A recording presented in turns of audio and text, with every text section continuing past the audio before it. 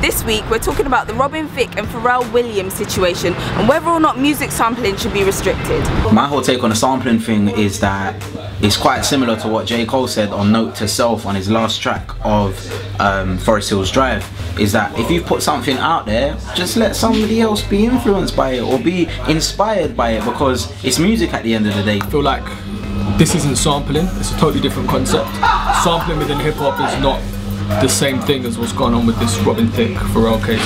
This was a case of lines not being clear about where inspiration lies and whether or not they were borrowing melodies or, or borrowing the vibe of the song. It's very hard to say whether or not that could, how that could be copyright, copyrighted. I think it's the whole lawsuit thing that, that, that, troubles me about this whole restriction thing. I think um, it's problematic. Um, it, it, it, it, causes people to be very insular, very tunnel vision. Um, we can't own everything, I don't believe.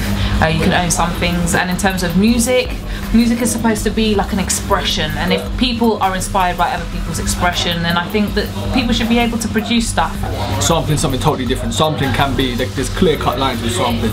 If you take, record a piece of music from someone else's music and you interpret that into your own, that's sampling. And you either have one of two choices choices either you get it cleared and the person who you took the sample from gets royalties paid to them or they get publishing paid to them or you try and disguise it and you hope that they don't notice that's it. That's it. It's, it's a totally different discussion. Sampling and, and, and copyright as to inspiration of music is a, it's a totally different thing. And I think it's something that we should all be able to do more on a fun thing. I don't think I don't think there should be a limit to anything. I think you should be able to do whatever you like once you hit that computer. And if you make a big record, you make a big record. But just know that there is professional procedures that people take if you do make a record that does sound like theirs, because possibly they might not be making the income that you may be making at the time. So then they may feel that they have a chance of getting some money out of you if you have got a record that potentially sounds like theirs. The laws are appropriate for some situations and for others it gets a bit ridiculous. Where money comes into it, yes of course royalties or dues need to be paid. Um, I'm not sure how I feel about, you know, great great great grandchildren coming forward and trying to uh, you know sue certain artists or certain artists children because they earn money off a certain track I just think it's very long-winded and it opens the floodgates to everyone else coming forward and saying, oh right, someone made money off of that, I'm gonna, that sounds similar to this and it's, it's just blurred lines as, as DJ Snip said. So if an artist has done something that another artist wants to put in their track, they might not necessarily go through the sample clearance but they might be influenced and inspired which I think is the same case with Robin Thicke, Pharrell and T.I. because there isn't actually a sound sample that's been taken from the Marvin Gaye record in 1970s compared to the 2013 record Blurred Lines, then just let these people do what they want to do. Music is music, art is art, creativity is creativity.